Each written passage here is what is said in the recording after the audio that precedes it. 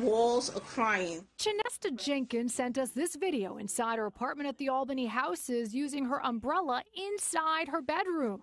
She says she's had leaks in her home since 2018. This hole over her bed and these leaks in her living room ceilings and walls. We visited Jenkins Monday afternoon. If I have to get anything off my dresser, and I'm standing here like this, especially if it's raining hard.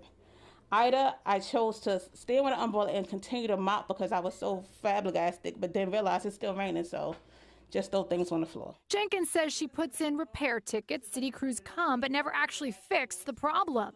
When Ida hit, the water flowed into her home. She says the flooding destroyed her living room floors, furniture, and even her bed is soaked. It's bad.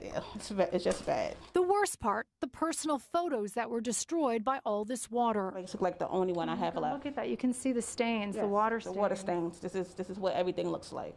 I mean, you've lost a lot, but this is what really hurts. Right. This is what really hurts. Jenkins says enough is enough, so she reached out to Pix 11. Why did you reach out to us? Because I thought you were the only one that can help me. We reached out to the New York City Housing Authority to get Jenkins action. NYCHA tells us, quote, bricklayers are scheduled to make repairs on the exterior wall on September 17th. Once that work is completed, we will schedule repairs for inside this resident's apartment. We will make sure repairs are done. And if you have a story, just do what Shanesta did. Send us your stories and videos to Monica Morales TV on Facebook, Instagram, or Twitter. We're making it happen at the Albany Houses in Crown Heights. Monica Morales, Pix 11 News.